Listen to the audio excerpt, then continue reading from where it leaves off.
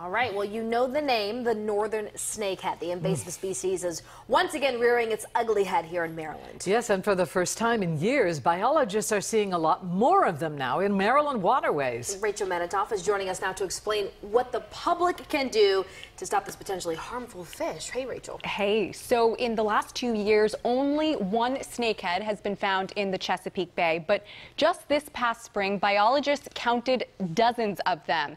And they're warning the species could be expanding. The northern snakehead was first spotted in Maryland waters in 2002, and ever since then, they've spread to every major river of the Chesapeake Bay. We believe that it was probably a pet fish that somebody decided to let go into a, local water area. And from there, it just succeeded and survived. The Department of Natural Resources says that these fish, which are indigenous to Asia, produce and spread quickly, and they have no natural predators. They can actually survive on land for some time, and that's probably how they move from one location to the next. And we're still trying to determine what, at the end of the day, they can do to a, an ecosystem because we haven't seen them before. And we don't know exactly what the long-term impact is going to be.